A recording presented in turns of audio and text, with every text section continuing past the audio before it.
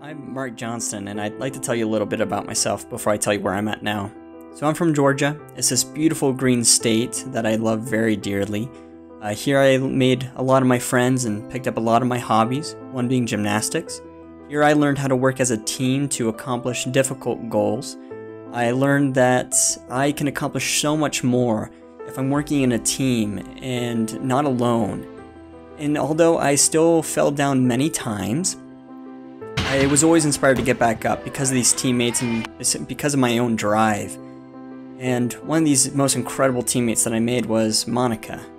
This is Monica, and she's my better half. We met when we were 16, and she's always been this inspiration of creativity, hard work, friendship. She's absolutely incredible, and I love her very dearly. After we graduated high school, we both thought it was important to go and serve religious missions, to go and serve those who aren't ourselves. And so I was called to Brazil. Here I made more incredible friends. I worked with a companion and multiple companions at that to serve others and teach others gospel principles.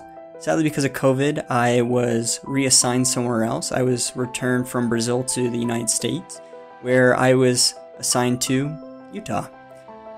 In Utah, I made more incredible friends, learning how to serve all those around me, uh, building homes still, and just loving everyone. All while Monica was right there in Farmington, New Mexico, doing the same incredible work. So, of course, it wasn't long after our missions that uh, I proposed to her, and she said yes. And now we're on these incredible adventures together. Life has been so crazy. But again, working as a team, we see so many more miracles, and we're so happy together. And now we have two cats, Leo and Maya. And life is just, while it's crazy, it's fantastic.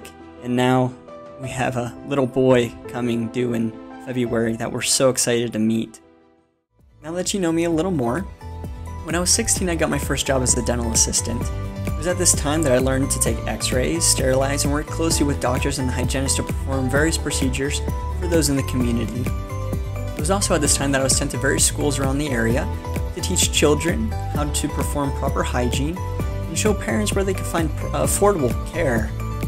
I started to appreciate that there's pockets in every community of people that start to neglect dentistry for whatever reason. And this started to grow this dream in me that I could take my love for working in a team and my desire to serve the community and transfer it into the professional field.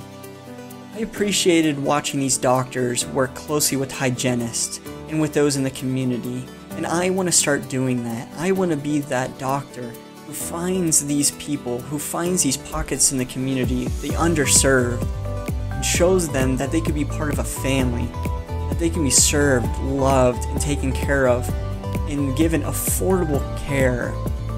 I want to work closely with hygienists and other doctors and assistants to take this team to go and love this, uh, the community. And on top of this all, this allows me to be able to work a 9 to 5 job that then gives me time to go home to my own family, to love them, to eat dinner with them, and show them that I love them as well. This is my dream to serve those around me, work in teams, take care of my own family. On top of it all, it's wonderful. Thank you for listening to my video, and I look forward to getting to meet you a little more. I hope you have a good day.